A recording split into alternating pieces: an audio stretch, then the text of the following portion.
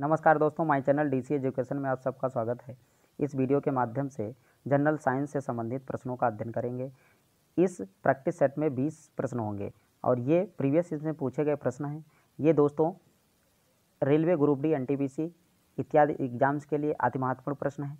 आइए दोस्तों, अध्ययन करते हैं क्वेश्चन नंबर फ़र्स्ट। एक किलोवाट बराबर होता है। ये एक किलोवाट बराबर होता है दोस्तों एक हज़ार जूल प्रति सेकेंड, एक हज़ार जूल प्रति सेकेंड। अगला क्वेश्चन है, एक किलोवाट घंटा बराबर होता है, एक किलोवाट घंटा बराबर होता है तीन गुणे तीन दशमलव छः गुणे दस की पावर छः joule three point six into ten की पावर सिक्स जूल। अगला क्वेश्चन है five point five kilowatt hour किसके बराबर होता है? एक किलोवाट आवर बराबर होता है दोस्तों three point six into ten power six दोस्तों, अब कह रहा है फाइव पॉइंट फाइव तो five point five into three point six करेंगे तो ये दोस्तों आ जाएगा उन्नीस point two five into ten power six joule तो ऑप्शन नंबर इसका होगा डी अगला क्वेश्चन है निम्नलिखित में से किसमें कोई कार्य नहीं किया जाता है?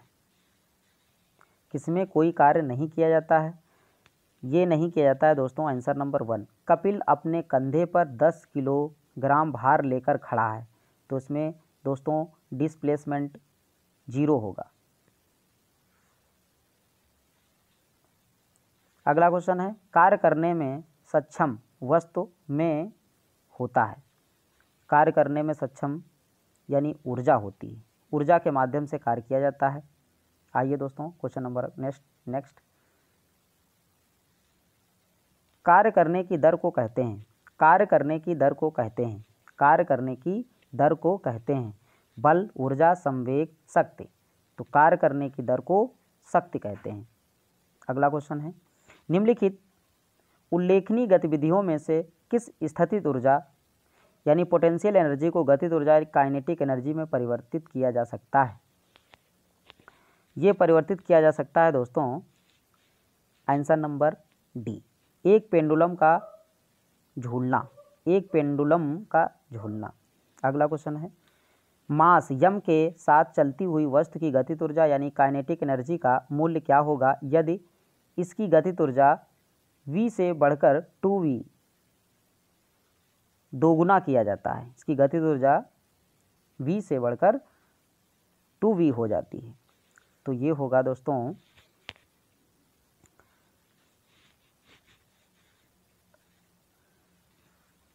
टू वी से बढ़कर वी हो जाती है।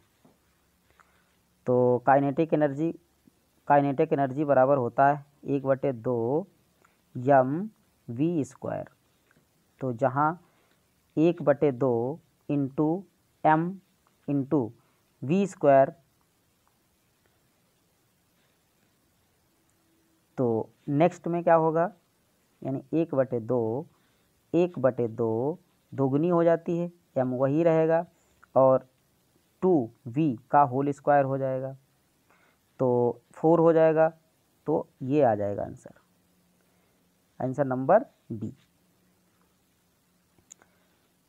अगला क्वेश्चन है, पाँच मीटर पर सेकंड की गति से आगे बढ़ रही द्रव्यमान यम की एक वस्तु की गतित ऊर्जा पच्चीस जूल है। उसकी गतित ऊर्जा दोगुनी हो जाने पर इसकी गतित ऊर्जा कितनी होती है? तो गतित ऊर्जा बराबर होता है काइनेटिक एनर्जी बराबर, दोस्तों होता है एक बटे दो यम वी स्क्वायर तो एक बटे दो एम वी स्क्वायर तो गतित ऊर्जा कितनी है? पच्चीस है। तो गतित ऊर्जा बराबर पच्चीस। एक बटे दो एम एम और गति कितनी है?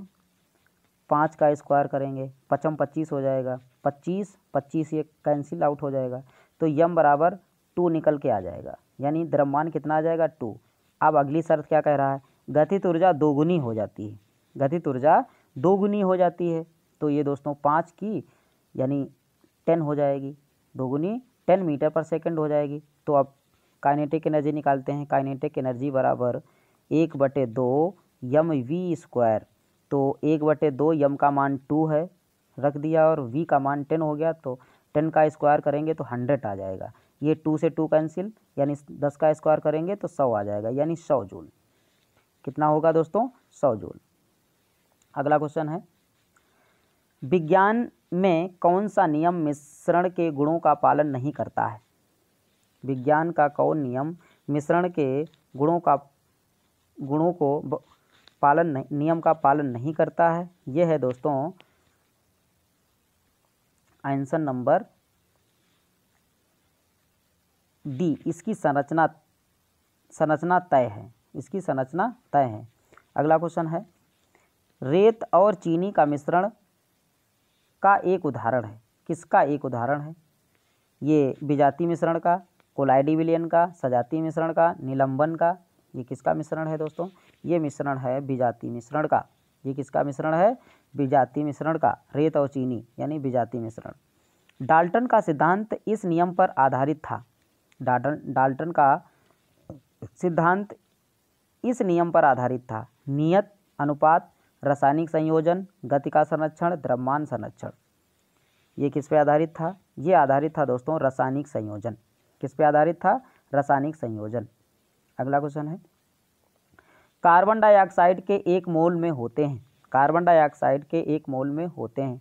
कार्बन डाइऑक्साइड के 22 ग्राम, कार्बन डाइऑक्साइड सिक्स गुणे टेन पावर ट्वेंटी थ्री अणु, कार्बन डाइऑक्साइड के six point zero twenty into ten power twenty three अणु या कार्बन डाइऑक्साइड के six point zero two two into ten power twenty three परमाणु। तो इसका answer होगा दोस्तों सी कार्बन डाइऑक्साइड के six point zero two two into ten power twenty three अणु।